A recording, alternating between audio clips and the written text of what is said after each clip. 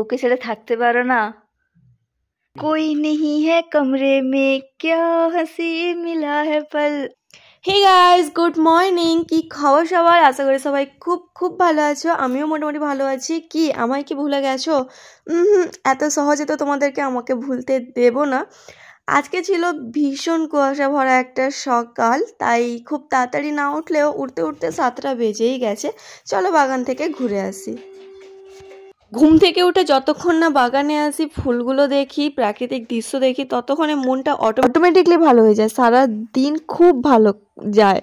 শীতকালীন ফুলগুলো তো বেশি ভালো লাগে, কিন্তু এই যে ধনে গাছের ফুলগুলো আরও বেশি মানে আমার তো খুব ভালো লাগে। তার সাথে ঘরোয়া কিছু সবজিপাতি শীতকাল এলেই ওইগুলো লাগানোর একটু হিড়িক থাকে, সেই প্রচেষ্টাই করা হয়েছে আর মোটামুটি ভালো ফলনও দিয়েছে। আর সামনেই তো সরস্বতী পুজো ভ্যালেন্টাইন ডে আসছে, গাঁদা ফুল থাকবে না, তার সাথে ডালিয়া, চন্দ্রমল্লিকা, কত রকমের বাগানে ফুল ফুটেছে, দেখলেই যেন মন প্রাণ ভালো হয়ে যায় আর সারাদিনটা অটোমেটিকলি ভালো থাকে। এই ফুলগুলো দেখলে না নিজের জীবনের অধ্যায়গুলো মনে পড়ে। কীরকম একটার পর একটা সাজানো কাটা ছেঁড়া। কেউ কেউ পাপড়িগুলো ছেড়ে ফেলে দিয়েছে আবার কেউ যত্ন করে পাপড়িগুলো তুলে রাখে আমাদেরই মতো। তো যাই হোক তো এখানে আমি জল নিতে এসেছি আর ছোট দিদার সাথে এই জল আনতে এলেই দেখা হয় তাই দুজনের অনেক গল্প।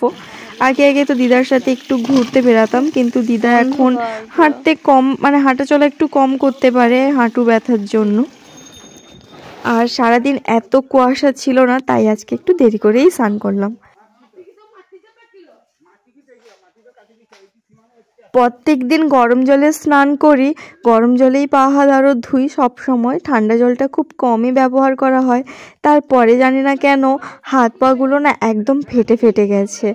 বোরোলিন লাগালেও কমছে না। কোনো জুতো পরলে, ভালো জুতো পরলে না, গোড়ালিগুলো দেখতেই বাজে লাগে। আর পুজোও করে দিয়েছি। চলো এরপর খাওয়া দাওয়ার ব্যবস্থা করি। তোমরা অনেকেই জানো না, আবার অনেকে জানো যে কাঁথিতে একটা জনপ্রিয় মেলা হয়, ওটা হচ্ছে গান্ধী মেলা, যেটা প্রতি বছর ফেব্রুয়ারি মাসের দু তারিখের দিকে বসে এবং টানা বারো দিন কি চোদ্দ দিন অবধি এবং ভাঙ্গা মেলা তো পনেরো ষোলো দিন অবধি চলতে থাকে। তো সেই মেলাটা এবছর এইচএস আর মাধ্যমিকের জন্য তাড়াতাড়ি হয়ে যাচ্ছে মানে জানুয়ারি মাসে ওটা শুরু হয়ে গেছে। ভাবছিলাম যে আজকে যাব। ওপেন বক্স ওপেন না করলে হবে না?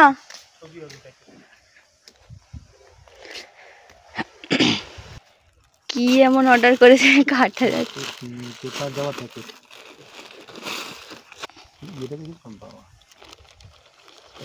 তো এর মধ্যে আমার জন্য সারপ্রাইজ ছিল, কিন্তু যেটা আমি জানি না যে ও কি অর্ডার করেছিল, কবে অর্ডার করেছিল, এখনই বুঝতে পারলাম যে এটা আমার জন্য সারপ্রাইজ ছিল। তবে বিশ্বাস করে এই জিনিসটা আমার প্রয়োজন ছিল না, কারণ আমার এরকম একটা আছে। এরকম না থাকলেও আছে, যেটা দরকার ছিল শাড়ির সাথে পরার জন্য একটা জিনিস। তো এখন আমি রান্নাবান্না করে নিই। তোমাদের দাদাভাই কাছ থেকে আসুক, তারপর ওই বলবে এর মধ্যে কি আছে। আমি তো জেনে গেছি, কিন্তু তোমাদেরও তো জানতে হবে না। তো চলো পুরো ব্লগটা দেখতে থাকো। আর রান্না করতে করতে একটা কাণ্ড, দেখো। প্রথমে আমি এই পাতাগুলো জাল দিচ্ছিলাম। তো আমি তারপর ভাবলাম যে, না, কাঠ জাল দিয়ে দিই দিলে তাড়াতাড়ি হয়ে যাবে। তো এটা এদিকে ছেঁটে দিয়েছিলাম। ভেবেছিলাম যে, নিভে গেছে। কিন্তু এত বাতাস হচ্ছে, বাতাসে ধুয়ে ধুয়ে না এইভাবে আগুন জ্বলছে। তো আমি যদি না দেখতাম, তাহলে এই পেপার সমেত আমি পুরো পুড়েই যেতাম। আর এদিকে কিন্তু খাওয়া দাওয়া আমাদের শুরু হয়ে গেছে। এবার উনানে ওইদিকে রান্নাও বসছে। আজকে রান্না করেছি ওই লক্ষ্মী চিংড়ি মাছ বলে, ওইগুলোর বড়া, টক আর পটল মাছের ঝাল দেওয়া। আর রাতের জন্য ওই যে পোনা মাছের ঝোল। শীতকালে সেভাবে কোথাও না ঘুরতে গেলে এবং অনেক পিকনিক না করলেও একটা ভালো জিনিস হয়। মানে খাওয়া দাওয়া করে দুপুরবেলা এখানে মাঠে এসে বসি এক ঝুড়ি ফল নিয়ে, যেটা আমি আর বোন মিলে খাই এবং বোন পড়াশোনা করে আর আমি এখানে বসে বসে খেলা দেখি। ওই যে দূরে খেলা হচ্ছে ক্রিকেট খেলা। অনেকে মিলে খেলে, অনেক আওয়াজ, চিৎকার ভালোই লাগে।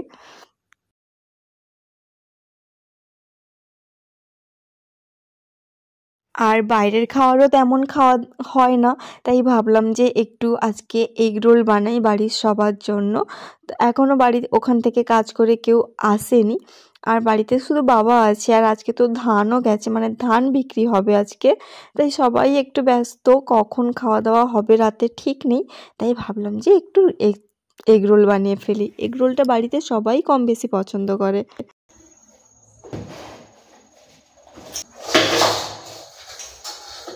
যখন শ্বশুর বাড়িতে ভালো মন্দ কোনো কিছু করি, তখন সবার আগে নিজের মা বাবার কথা মনে পড়ে। ওখানে থাকাকালীন কত কিছু করে মা বাবাকে খাওয়াতাম। এখন চলে এসেছি আর মা বাবা ওইগুলো করে খায়ও না। বাজার থেকেও কিনতে বললে কেনে না।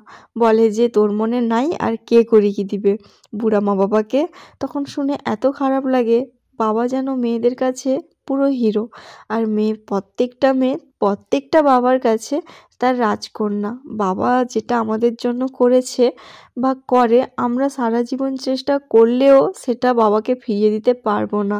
তাই একটু আধটু ভালো রাখার চেষ্টা। কিন্তু সেই চেষ্টাটাও যখন সফল হয় না, তখন অটোমেটিকলি মন খারাপ হয়ে যায়। মেয়ে হয়ে জন্মানোটা আমার মনে হয় উচিত না। কেন উচিত না জানো? কারণ মেয়েরা খুব ইমোশনাল হয়। প্রত্যেকটা ব্যাপার এত সেন্টিমেন্ট দিয়ে ভাবি, সব সময় যেন আঘাত পাই। না শ্বশুরবাড়িকে ছাড়তে পারি, না বাবার বাড়িতে ছাড়তে পারি। বাবার ঘরে দুদিন থাকলে মনে হয় আমার ঘরে কি হচ্ছে, কি না হচ্ছে সব কিছু উলট পালট হয়ে গেল ঘর দোয়ার নোংরা হয়ে গেল, নানা ফিরে যাই। আবার যখন শ্বশুর ঘরে থাকি, প্রত্যেকটা সময় মা বাবার কথা মনে পড়ে। মা বাপি কী খেলো, কি না খেলো, এটা করলে হয়তো ভালো হতো, এটা দিলে ভালো হতো। কিন্তু সব সময় সবটা সম্ভব হয় না তাই মন খারাপ হয়। রোল খেতে খেতে মনে পড়ে গেল, আরে তোমাদের সাথে তো পার্সেলটা শেয়ার করতে হবে। তো চলো খুলে দেখি এতে কী আছে। কারণ কি অর্ডার করেছিলাম আর কি এসছে, ও বলছিল ও নাকি প্যারাসুট কাপড় অর্ডার করেছিল আর এসছে হচ্ছে উলের মানে যেরকমটা হুডির কাপড় হয় আর কি।